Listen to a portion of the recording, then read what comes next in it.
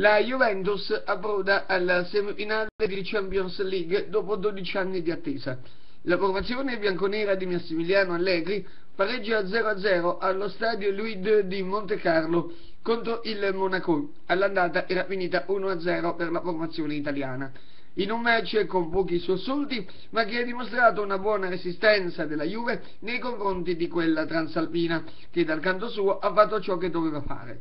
Nell'altra semifinale il derby spagnolo Real Madrid-Atletico finisce a favore dei Blancos di Carlo Ancelotti con rete decisiva di Fernandez a 4 minuti dalla fine.